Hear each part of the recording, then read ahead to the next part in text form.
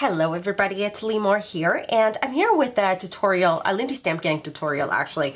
And what I wanted to show you is I want to show you how to create this fabulous wood grain tag and you can use this on, you know, really anything, that um, any project that you want. And um, at the end I'll show you a finished project, but I wanted to show you how to create, look at the back, it's awful, but um, how to create this really, really cool technique, right? Like that just totally looks like wood, right?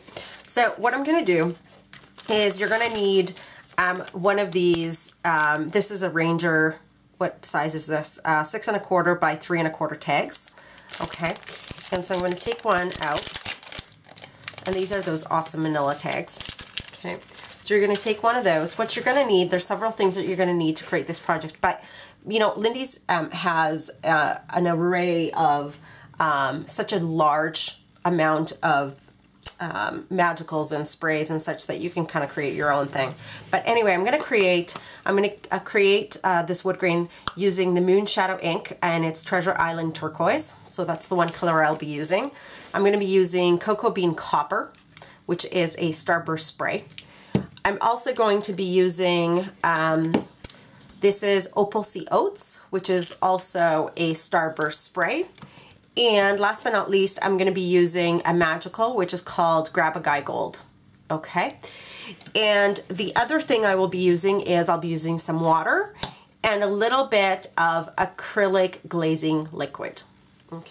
All right, so let's get started. Um, you're gonna need a little dish or something like that. I'm gonna grab my first uh, thing, which is Grab a Guy Gold Magicals.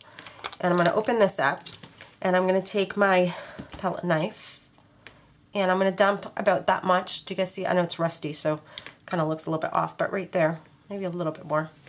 Okay, you don't need a whole lot. And I'm going to close this up. And then what I'm going to do is I'm going to take a little bit of water, and I'm to dump a little bit of water right there. And I'm going to show you the beautiful color that it creates. You want to blend this up, making sure all the mica powders and such get nicely blended. And I just want to show you the beautiful um, oops, sorry, new camera angle. There we go. Do you guys see all that beautiful gold kind of swirling around? Okay, that's kind of what you want, okay? Now the next thing that I want to do, I want to create a little bit of a glaze. So I'm going to add a little bit of acrylic glazing liquid, just a little bit, not too much, because you'll see the next step as well. Just a little bit. I don't want to change the color too much, and it will change it a little bit if you add a little bit too much. So I just added a couple drops. Okay, and just see how it changes it a little bit. Okay. So perfect. And now what I want to do, I want to take my fan brush, just like this, and I'm going to dip this in. And when you dip it in, you'll find that the, um, the bristles kind of go together. So what you want to do is you almost want to fan it out so that they're apart. So I just kind of play with it just like this. Okay, play with it until they're kind of spread apart. And then what you're gonna do is you're gonna take your tag and instead of applying it like this, you're gonna apply it from the top like this so that you can create really cool lines, okay, such as that. Makes sense? And the next thing that you're gonna do is you're gonna take your uh, glazing liquid and I just apply a little bit right here on my mat just to ensure that it does create a little bit of a glaze resist. And then I just the same thing. I spread spread the wings apart and it's a little bit harder with the glaze. So sometimes you'll just have to use your fingers because this is a little bit thicker. There we go. And then you're going to do the same thing. Okay. Just like that. And then you're now you're going to give it a quick heat set. Make sure that it's nice and dry before you do your next step. Now we're going to move on to the next color, and it's the Moon Shadow ink, uh, but and it's Treasure Island Turquoise. And so I'm going to take this um, knife again. Actually, I'll take this one. And what it is, it's a uh, turquoise with brown, which is really beautiful. Okay, about that much. Okay, and then I'm just going to add a little bit of water. And you'll see it turn. It's like magic. Can you guys see that beautifulness? It's so stunning, isn't it? Look at that. Isn't that gorgeous? I just love this color. One of my absolute favorite colors. Okay, So now you're gonna take that and then the same thing, you're gonna add just a little bit of the acrylic glazing liquid. I'm gonna do like one drop this time. Oops, a little, a second drop fell. Didn't really want that much, but that's okay. It does change the color quite a bit, so you gotta watch. Okay, so we're stirring it up. Fabulous. And now what I'm gonna do, same thing, same technique as before. I'm gonna take my brush, dip it in really, really nicely so I can get some of that beautiful shimmer in there. Okay, and then spread the bristles apart and then do the same thing throughout. Okay, just like that. And then maybe you can make a little puddle here and there to represent a knot, but you don't need a whole lot. Okay, just like that. And then what I like to do is same thing, I'm just gonna apply a little bit of glaze right there and go over it so that it resists some parts.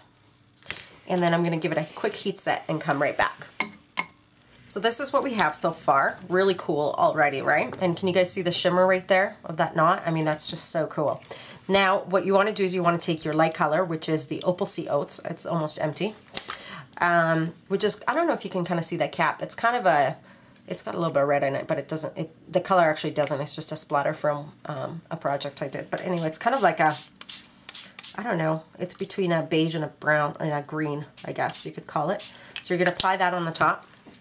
And then you're going to grab your uh, cocoa bean copper, to mix it up, and you're going to give it a spray. Okay, just like that. Look at, it's so gorgeous already, right? I'm just gonna let it soak just for one minute. I'm gonna move that around, move that out of the way, clean that up. And then now that it's soaking in really, really nicely, you can now go ahead with your paper towel and then wipe some of that off. And then you may wanna give it one more run at it, which I did in my last tag. Okay, but look how gorgeous that is already.